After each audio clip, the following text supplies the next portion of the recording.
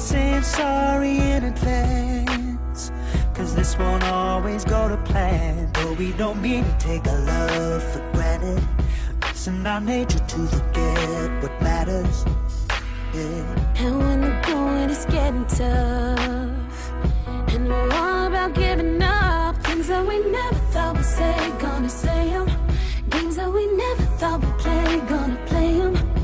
It ain't perfect,